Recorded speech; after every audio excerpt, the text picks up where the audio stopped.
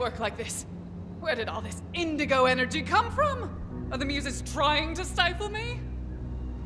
Hmm, you look like someone well versed in matters of the grotesque.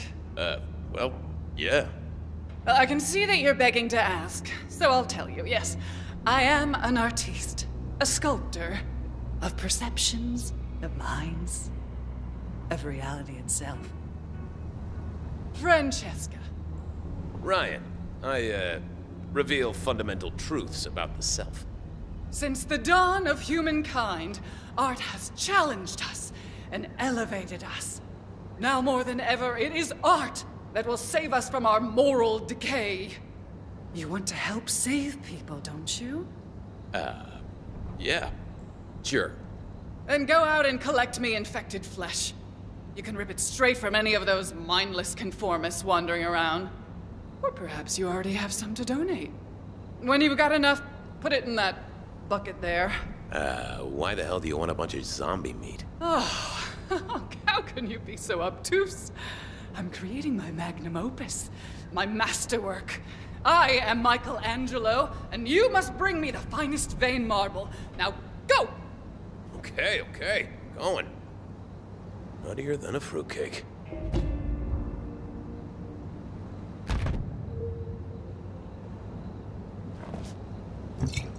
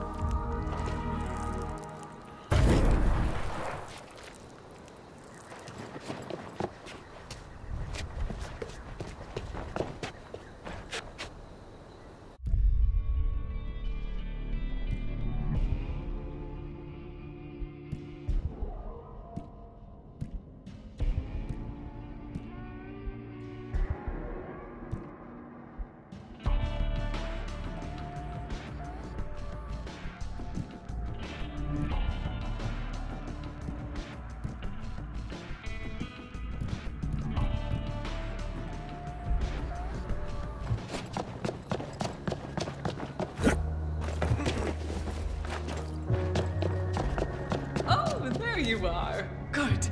Yes. My medium is death. For how else should we understand life?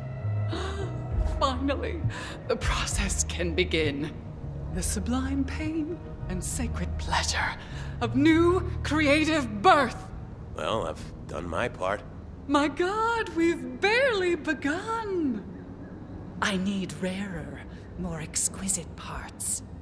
I've been listening to the inane chatter on the radio. I've heard of marvelous and monstrous beasts around the city. I must mold their fantastical corruption. Seriously? Mark this. My artistic flow is paramount. I'll place my requests on the board up there. When you bring the matter, do not interrupt me. Just drop it in the bucket. And what am I getting out of this? We can trade for my aesthetic leftovers, but as I pass you the dregs of my creativity, consider what residue of your own will you discard. Don't answer, just let that stew for a while.